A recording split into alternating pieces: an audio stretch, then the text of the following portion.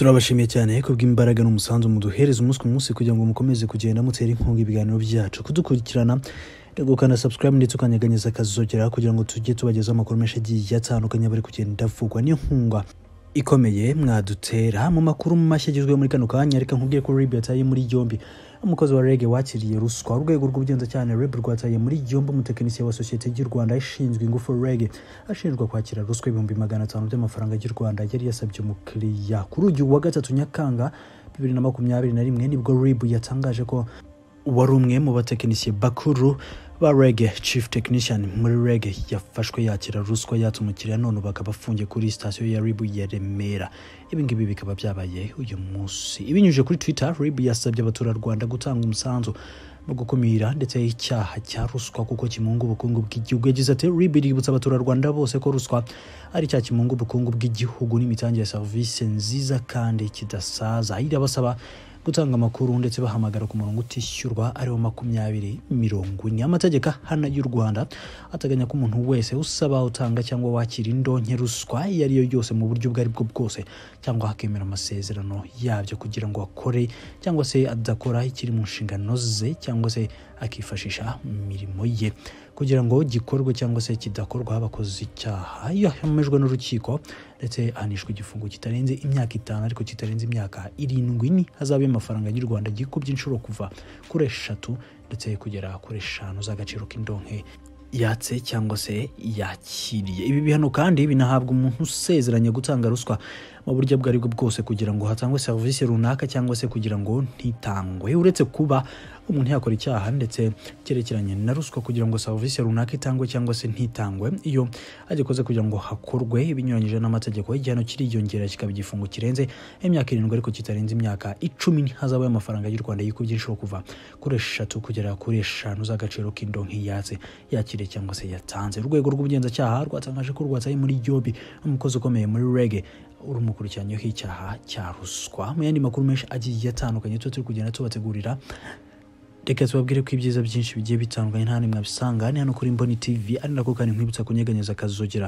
aho dukurikirana kuri facebook kuri instagram ndetse na twitter hose ni mboni tv kugira ngo ukomeze kugenda uryoherwa n'ibiganiro bishya bigezweho yandi makuru menshi agiye atandukanye tugufitiye harimo n'aya ngaya aryoherwa na yo. Mwaka w'ibihumbi bibiri na cumi na gatanu uburundi bwagirije u rwanda ko rwahaye indara impunzi zirimwo abashatse gutembagaza ubutegetsi u rwanda nabwo rwagiriza uburundi ko rubitse abahungabanya umutekano w'igihugu. I bujumbura harabaye imyiyerekano akatari gake yo kwiyamiriza u rwanda mu nyuma imipaka y'ibihugu byombi irugagwa umuhinga yanonosoye ibya kahise na politike n'imigenderanire asigura ko ingaruka mbi zabangamiye abanyagihugu cane cane abegereye imipaka. Gerve nibigira abona ko ubu agacu katanguye kuba keza. Tubona yuko uyu munsi hariho ugushaka hagati y'impande zose zibiri zo kunagura imigenderanire. Aho umuntu abivuga afatiye ku majambo ashikirizwa n'abarongo ibyo bihugu mu biganiro bashikiriza amenyeshamakuru canke abanyagihugu. Ico ni ikintu ciza rwose haba ku barundi haba ku banyarwanda nk'abantu ba mu ntara zihana urubibe nka dacibitoke kayanza ngozi kirundo eka na muyinga batakaje byinshi bashorerayo ibidandazwa cyangwa bagurirayo ibyo bakenera bo nyine nko guhana abageni bakubakana. Ibyo byose byarahagaze. Bamwe muri abo banyagihugu abanyicibitoke mu ntango z'iyendwi bari biganijwe ry'amerika agahombo bahagiriye bakifuza ko iyugururwa ry'imipaka ryonyaruka. Twarashobora tukora mu rwanda tugashobora tumanderena mu rwanda tukaronka utwo dufaranga twabasha kuronka utudagara tw'abantu. Ngubu dusa n'abantu twishe dusa n'abantu baboshwe nyakubahwa mukuru w'igihugu cy'u rwanda na nyakubahwa umukuru w'igihugu cy'u burundi ko bicara hamwe bakayaga bakugurura imbibe abantu bagasubira kugenderanira. Icyo umuntu adafise hariya arasimbutse hariya arakironka. Kandi nabo icyo badafise hariya mu rwanda barasimbuka hano bakakironka. No ku ruhande rw'u rwanda ni nk'uko nk'uko bisigurwa n'abanyabugarama mu karere ka rusizi ahegereye umupaka wa ruhwa. Barezaga bakazana imyaka ino. Natwe ibyo dukeneye tukabizana hano twahakuraga amafaranga turi munsi y'amafaranga ibihumbi bibiri ku munsi. Ariko ubu ngubu kuba barafunze byahise bihagarara. Nkanjye niho navukiye ariko nza gusanda umunyarwanda. Imbandi mu gihugu cy'u rwanda sayizi tuvugana. Nubwo nagera ku mugezi mba ndi kubona jama yanjye hakurya ariko sinanayiha ukuboko. Ko nyihaye ukuboko urumva mba nkoze furagisiyo ubu ni ukuvuga ngo ngewe ubu hano mu rwanda natandukanye n'umuryango kuko manake igisokuru cyanjye cyinshi cyo kwa mama kiri burundi. Nubwo biri uko umuhinga mu bya kahise na politike avuga ko hari igihe amajambo ya politike adaca ajana n'ibikorwa mu kiringo ca vuba.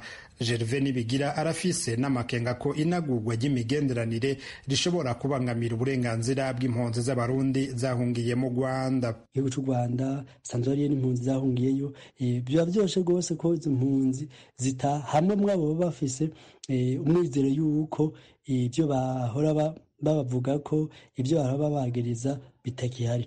Byoba ariko cyane cyane ku neza y'abarundi n'abanyarwanda ata muntu n'umwe bizoza bibangamira ngo ni uko imigendanire yabonetse bitumagira abantu bamwe cyangwa abandi bamerwa nabi mu mwanya y'uko abandi bazoba bariko barashimishwa imigendanire mishasha yasekunagurwa mu butumire bwari bwahawe umukuru w'igihugu cy'u rwanda ijwi ry'amerika rifitiye ikopi yavuye mu biro by'umukuru w'igihugu cy'u burundi perezida paul kagame yishuye mugenzi we ati by'ukuri ni ikimenyetso cyiza cyo gusubira kunagura ubucuti bw'imigenderanire yamyeho hagati y'u rwanda n'uburundi mu kurangiza perezida w'u rwanda yongeye ati naho ntashoboye kuza. Nizeye ko vuba tuzoronka kandi kajyo ko kubonana amaso mu yandi kuko twembi tugiye kubandanya dukorana bya hagufi.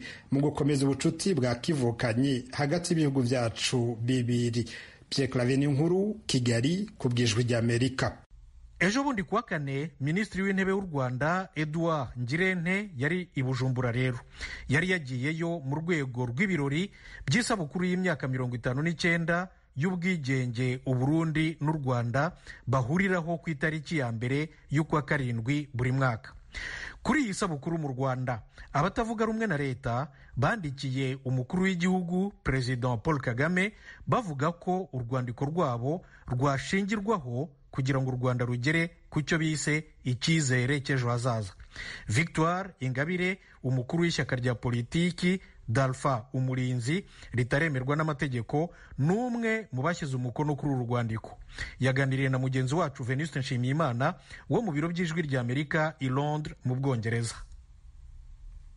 Mu rwandiko twamwoherereje gutajya makumyabiri na gatatu za kamena kwezi gushize ariko nta nta kintu aradusubiza turacyategereje. None se muri makeya ni iki mwamubwiraga? Urwandiko twanditse na metero ntaganda dutekereza uburyo mu gihugu cyacu twasigasira ibimaze kugerwaho tunategura ejo hazaza heza. Ni urwandiko rero rukubiyemo ibibazo bitanu bikubiye mu ngingo eshanu tubona bikomereye igihugu cyacu kandi bikwiriye kwigwaho. Hari ikibazo kijyanye na politike twashyiraho inzego z'ubuyobozi zihituze buri munyarwanda wese hari ikibazo kijyanye no kubaka igihugu kigendera ku mategeko no kubuhariza uburenganzira bwa muntu mu gihugu cyacu hari ikibazo kijyanye n'uburyo hashimangirwa ubumwe n'ubwiyunge mu banyarwanda hari n'ikibazo kijyanye n'iterambere uko iterambere ryagera kuri buri munyarwanda wese. Ibyo bibazo rero ni ibibazo byigezwe no kwigwaho fpr ikimara gufata ubutegetsi mu mwaka w'igihumbi magana cyenda mirongo cyenda n'icyenda ibyo bibazo babyizeho ariko tugasanga uyu munsi byanga bigakomeza bigakururana. Tukavuga tuti nyuma y'imyaka makumyabiri n'ibiri birakwiye ko abanyarwanda twongera tukicarana tukiga ibibazo twabikemura burundu ndetse ni n'ibintu mu itegeko nshinga birimo itegeko nshinga ingingo ya cumi agace ka gatatu turavuga iti abanyarwanda twige gukemura ibibazo byacu twiga twicara hamwe tukabiganiraho tukishakamo ibisubizo tukabibonera igisubizo. Niyo mpamvu twamusabye ko ibyo bibazo rero yafata umwanya akabyiga. Cyane ko tunasanga aramutse abyemeye bikanakorwa mu gihugu cyacu byaba ari umurage mwiza asigiye yaba ahaye igihugu cyacu w'u rwanda inkingi z'ubuyobozi zatuma uko byabaye kuva twagera mu bwigenge abanyarwanda usanga iteka gusimburana ku butegetsi hameneka amaraso. Ariko yaba ahaye igihugu umurage mwiza n'uburyo bwiza abantu bajya basimburana ku butegetsi nta maraso yongera kumeneka. None ibyo biganiro uvuga byo kwicana na perezida wa repubulika mukaganira ku bibazo byugarije igihugu ko adahwema guhura n'abanyarwanda ko haba imishyikirano myinshi abanyarwanda bagahura bakaganira bizaba bitandukanye he n'ibikorwa buri munsi abanyarwanda biga ku bibazo bibareba. Ni byo murakoze kuko hari ibiganiro byinshi nk'uko nari kubivuga icyo iki kiganiro gikomeye cyabaye mu gihumbi magana cyenda mirongo cyenda n'icyenda.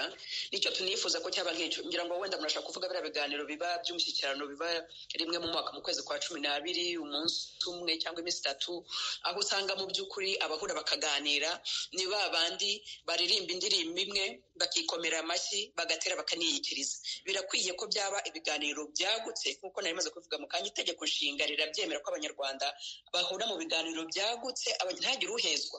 Abanyarwanda twese tugahura kandi noneho twiga kuri bya bibazo twavuze mu itangazo ibiganiro bizira imbereka nta kubeshyana nta kuryaryana nta gukoma amashyi ngo turenzeho ahubwo tukavuga tuti iki ni ikibazo kuko dufite ikibazo cy'imiyoborere? Icyo kibazo cya politiki ntakivuze no muri mirongo icyenda n'icyenda barakize kandi bamaze umwaka wose bakiga ariko icyo kibazo n'uyu munsi turagifite. Reka ntajya nk'urugero hari ikintu bize muri mirongo icyenda n'icyenda cyo guca urwikekwe mu banyarwanda. Ariko n'uyu munsi nyuma y'imyaka makumyabiri na kabiri makumyabiri n'ibiri bize kuri icyo kibazo. Icyo kibazo n'ubu ngubu kiracyari hari cyari urwikekwe. Twicare no nk'abanyarwanda tubwizanye ukuri. Kuki urwo rwikekwe rukomeza kutubamo? Kandi igihe tugifitanye urwikekwe hagati yacu nta mahoro tuzagira. Umupaka ufunze hagati y'u rwanda uganda hagati y'u rwanda n'uburundi. Igihugu cy'u rwanda kikarega ibyo bihugu gushyigikira abatavuga rumwe n'ubutegetsi buri mu gihugu cyacu.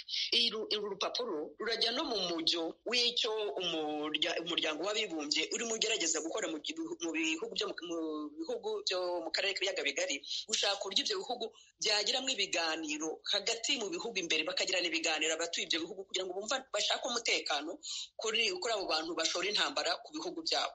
Kandi abo bantu bashora intambara ku bihugu byabo bava mu mpunzi urumva rero nk'ikibazo cyarizweho ariko n'uyu munsi kiracyahari.